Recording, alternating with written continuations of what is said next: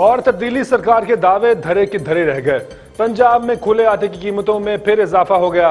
Fine आटे की बोरी एक सौ रुपए महँगी कर दी गई।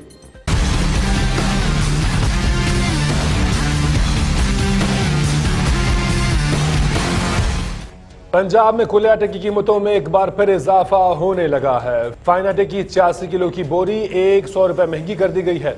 आटा चक्की एसोसिएशन ने आटे की कीमत मजीद दो रुपए बढ़ाने का ऐलान कर दिया है, जबकि नान रोटी एसोसिएशन ने भी कीमतें बढ़ाने का इंदिया दे दिया है।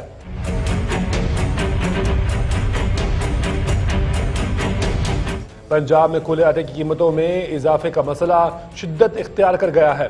नान रोटी एसोसिएशन ने कहा है कि फ्लोर में छियासी किलो फाइन आटे की बोरी सत्तावन सौ की बजाय अट्ठावन सौ रुपए में फरोख कर रहे हैं। अगर ये कीमत कम ना हुई तो नान की कीमत पंद्रह रुपए से भी बढ़ जाएगी।